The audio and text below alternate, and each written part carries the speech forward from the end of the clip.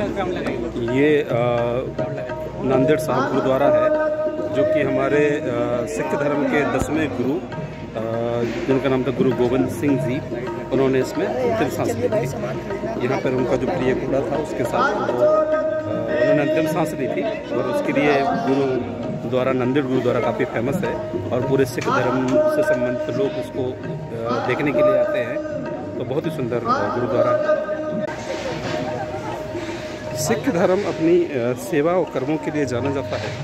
बोला जाता है कि सिख धर्म की जब स्थापना हुई तो उसमें भाईचारा और सद्भावना का संदेश दिया गया था, जिसमें सभी लोगों को चाहे वो हिंदू हो, चाहे मुसलमान हो, चाहे वो कोई भी हो, गुरु नानक जी द्वारा इसको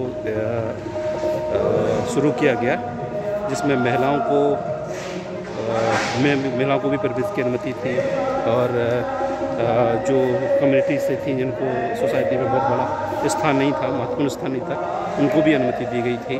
और इस वजह से सिख धर्म जो है अपने वास्तविक विचारों से काफ़ी फ़ेमस हुआ और आज ये भारत का एक प्रमुख धर्म बन के सामने, उभर के सामने आया है।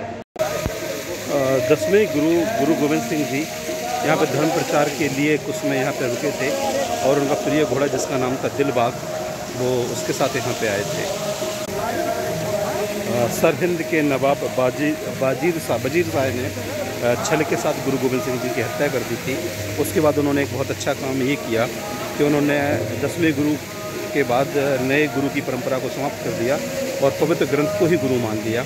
जिससे ये धर्म काफ़ी मजबूती के साथ उभरा, क्योंकि गुरु ग्रंथ साहब आधुनिक विचारों और के साथ अर्जुन देव जी ने उसको संकलित किया था और साथ ही उसमें कई ऐसी नवीन चीज़ें थी जो सामाजिक विकास के लिए ज़रूरी थी। इसलिए ये जो जगह है, ये गुरु जो सिख धर्म, उसके लिए बहुत पवित्र है। ये जगह जो है, वो नांदेड़ महाराष्ट्र में है और गोदावरी नदी के तट पर है। जो गोदावरी नदी इसके बगल से ही बहती है। और जो कि नासिक ज़िले से निकलती है। तो ये गुरुद्वारा जो है अपनी वैभवता के लिए जाना जाता है।